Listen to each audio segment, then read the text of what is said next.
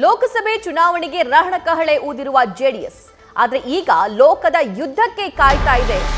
ಕಾಡ್ತಾ ಇದೆ ಸೈನಿಕರ ಕೊರತೆ. ಕೆನೆ ಬಳಗದಲ್ಲಿ ಲೋಕಸಭಾ ಚುನಾವಣೆಗೆ ಅಭ್ಯರ್ಥಿಯ ಕೊರತೆ ಇದೆ. ಮತ್ತೆ ಪುಟಿದೇಳೋದಕ್ಕೆ ಈಗಿಂದಲೇ ಪೂರ್ವ ಸಿದ್ಧತೆಗಳು ಕೂಡ ನಡೆದಿದೆ. ಮೂರು ದಿನಗಳಿಂದ ಸರಣಿ ಸಭೆಯನ್ನ ಜೆಡಿಎಸ್ನ ನಾಯಕರು ನಡೆಸ್ತಾ ಇದ್ದಾರೆ. ವಿಧಾನಸಭಾ ಎಲೆಕ್ಷನ್ ಆದ ನಂತರ ವಿಧಾನಸಭಾ ಎಲೆಕ್ಷನ್ನಲ್ಲಿ ಇಷ್ಟು ದೊಡ್ಡ ಪ್ರಮಾಣದಲ್ಲಿ ಸೋಲಾಗೋದಕ್ಕೆ ಏನ್ ಕಾರಣ ಅನ್ನೋದ್ರ ಬಗ್ಗೆ ಬೇರೆ ಬೇರೆ ರಿಪೋರ್ಟ್ಸ್ ಅನ್ನ ಈಗಾಗಲೇ ಕುಮಾರಸ್ವಾಮಿ ಅವರು ಪಡ್ಕೊಂಡಿದ್ದಾರೆ. ಪಕ್ಷದ ಪರಾಜಿತ ಅಭ್ಯರ್ಥಿಗಳ ಜೊತೆಯಾಗಿರಬಹುದು, ಕಾರ್ಯಕರ್ತರ ಜೊತೆಯಾಗಿರಬಹುದು, ಆಯಾ ಡಿವಿಷನ್ನ ಅಧ್ಯಕ್ಷರ ಜೊತೆಯಾಗಿರಬಹುದು, ಈಗಾಗಲೇ ಸರಣಿ ಸಭೆಯನ್ನ ನಡೆಸಿದ್ದಾರೆ.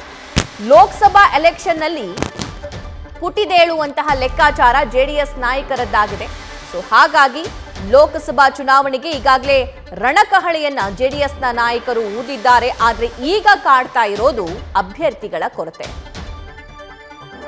ಮತ್ತಷ್ಟು ಅಪ್ಡೇಟ್ಸ್ ನಮ್ಮ ಪೊಲಿಟಿಕಲ್ ಕರೆಸ್ಪಾಂಡೆಂಟ್ ಮಂಜುನಾಥ್ ನೀಡ್ತಾರೆ. ಮಂಜುನಾಥ್, ವಿಧಾನಸಭೆಯಲ್ಲಿ ಸೋಲಿನ ಬಳಿಕ ಲೋಕಸಭೆಯಲ್ಲಿ ಚಿಗುರೋದು, ಗೆಲುವು ಕಾಣೋದು ಜೆಡಿಎಸ್ನವರಿಗೆ ಅನಿವಾರ್ಯ ಆಗಿದೆ. ಸೊ, ಆದ್ರೆ ಈಗ ಅಭ್ಯರ್ಥಿಗಳ ಕೊರತೆ ಕಾಡ್ತಾ ಇದೆಯಂತೆ. ಇದರ ಬಗ್ಗೆ ಮಾಹಿತಿ ನೀಡ್ತಾ ಹೋಗೋದಾದ್ರೆ. ಸಭಾ ಎರಡ್ ಸಾವಿರದ ಏನು ಇಪ್ಪತ್ತ್ಮೂರರ ವಿಧಾನಸಭೆಯಲ್ಲಿ ಜೆ ಡಿ ಎಸ್ ಒಂದು ಹೀನಾಯ ಸ್ಥಿತಿಗೆ ತಲುಪಿರುವಂಥದ್ದು ಇದರಿಂದ ಕಾರ್ಯಕರ್ತರು ಜೊತೆಗೆ ಮಾಜಿ ಮುಖ್ಯಮಂತ್ರಿ ಆಗಿರುವಂಥ ಎಚ್ ಡಿ ಕುಮಾರಸ್ವಾಮಿ ಅವರು ಕೂಡ ಒಂದಷ್ಟು ಬೇಸರಕ್ಕೆ ಒಳಗಾಗಿರುವಂಥದ್ದು ಒಂದಷ್ಟು ಆತಂಕ ಕೂಡ ಶುರುವಾಗಿರುವಂಥದ್ದು ಯಾಕಂದರೆ ಮುಂದಿನ ದಿನಗಳಲ್ಲಿ ಪಕ್ಷವನ್ನು ಉಳಿಸಬೇಕು, ಬೆಳೆಸಬೇಕು ಜೊತೆಗೆ ಕಾರ್ಯಕರ್ತರನ್ನು ಕೂಡ ಹಿಡಿದಿಟ್ಕೊಳ್ಬೇಕು. ಈ ನಿಟ್ಟಿನಲ್ಲಿ ಈಗಾಗಲೇ ಸೋಲಿನ ಪರಾಮರ್ಶೆ ಜೊತೆಗೆ ಲೋಕಸಭೆ ಮತ್ತು ಸ್ಥಳೀಯ ಚುನಾವಣೆಗಳಿಗೆ ಒಂದು ಸಿದ್ಧತೆಯನ್ನು ನಡೆಸೋದಕ್ಕೆ ಸಿದ್ಧತೆಯನ್ನು ಕೂಡ ನಡೆಸಿರುವಂಥದ್ದು. ಆದರೆ ಇಲ್ಲಿ ಈಗಾಗಲೇ ಏನು ಮುಖಂಡರ ಜೊತೆ ಸಭೆ ನಡೆಸಿರುವಂಥ ಮಾಜಿ ಮುಖ್ಯಮಂತ್ರಿ ಏನು ಕುಮಾರಸ್ವಾಮಿ ಅವರು ಈಗ ಲೋಕಸಭಾ ಚುನಾವಣೆಗೆ ಸಿದ್ಧತೆ ನಡೆಸ್ಕೊಳ್ಳಿ ಅನ್ನೋ ಒಂದು ಸೂಚನೆಯನ್ನು ಕೊಟ್ಟಿದ್ದಾರೆ.